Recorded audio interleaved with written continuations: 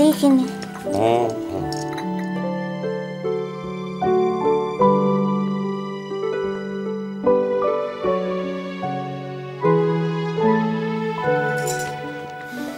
জেঠুমনি একটা খবর ছিল। হুম? ভালো খবর নিশ্চয়ই। বসো বসো এখানে।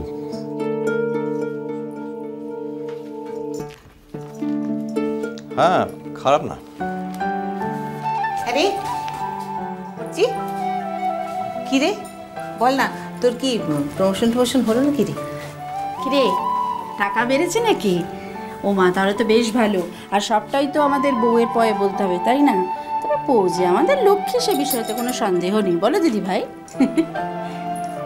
হ্যাঁ লক্ষ্মী তো বটেই তবে একটু চঞ্চলা আর কি। এক জায়গায় তিনি বেশিক্ষণ কোথাও তো বসতে পারেন না। বারে তো সকালবেলা সকলে লেগে চাটো বানাইন বলে? তবে তো মুখেও তো চাটো খিদেটা হবে ক্লা সকাল থেকে একটু মাথার বেদনাটা হইছে না কি বলব? শিখিতে বাহা। মাথায় বেদনাটা হইছে মানে কি? তোর কি জ্বর টর আসছে নাকি? এ হে সামনে তোর পার্ট টু পরীক্ষা।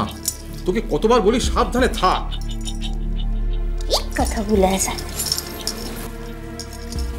আমি পই পই করে সবাইকে বলেছি যে ওকে সকালবেলা রান্নাঘরে ঢুকতে দিও না। কেউ একটা আমার কথা শুনবে না?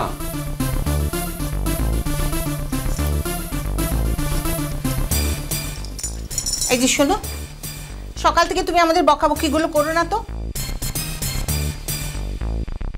ওই মেয়েকে কোনো দিন আমরা রান্নাঘরে ঢুকে একটা কুটো নেড়ে দুটো করতে বলি না। তো সে কারুর কথা শোনে? আর সকালবেলা চাটা নিজে হাতে না বানালে তার তো পেটের ভাত হজম হবে নাকি না? সবাই ভুলে যাচ্ছ কেন যে মেয়েটা একটা স্টুডেন্ট সে স্টুডেন্টদের নিজেরই তো কোনো গরজ নেই। তাই না তাই। এই বাহা দেখেছিস? রোজ সকালবেলা এই তোর জন্য না আমাদের দাদার কাছে বকুনি খেতে হয়। কেন রে? তোকে আমরা বলিনি সকালবেলা উঠে বই নিয়ে পড়তে বসে যাবি? তা না সোজা চলে আসবে রান্নাঘরে। মিঠাইদের দেখিসনি? কি করে হ্যাঁ?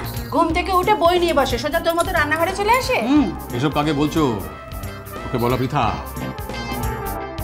কোনো কথা কানে তোলে নাকি? এক কান দিয়ে কথা ঢুকছে আর এক কান দিয়ে কথা বার করে দিচ্ছে। তুই বেশি বক বকাইনসলা বুঝেছিস তো? তখন থেকে এক বক বকাইন দিছি আর তা বাদে একটু কথা বুলেটও রাখছি। মিঠাইটা ভালো মেয়াটো আনছে তার লেগে সকালবেলা উঠাই পুরতেটাও বসে যায় আর মুখ খারাপ তো আনছি তাই লেগে মুখ পড়ালেখাটাও করি না। এই বাহা চা হয়েছে?